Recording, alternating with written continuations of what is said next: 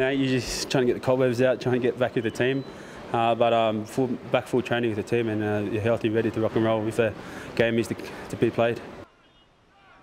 It was a bit of a tough situation for myself, but it was an exciting moment for uh, Yagnossi and Connal. You know, they they've been shown how uh, great they are. You know, if, if they were to get called into the main squad and just show them uh, what they can do on the on the big stage.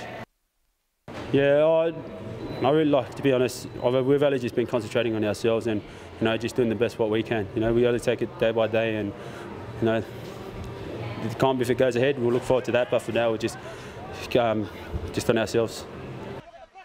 If that goes ahead, it would be awesome to get some rugby under our belt, but uh, at this moment, uh, SANZAAR and Rugby Australia are working hard to uh, get a comp going and for us it's just training well and uh, just being ready for when their comp or whatever game is uh, getting thrown at us.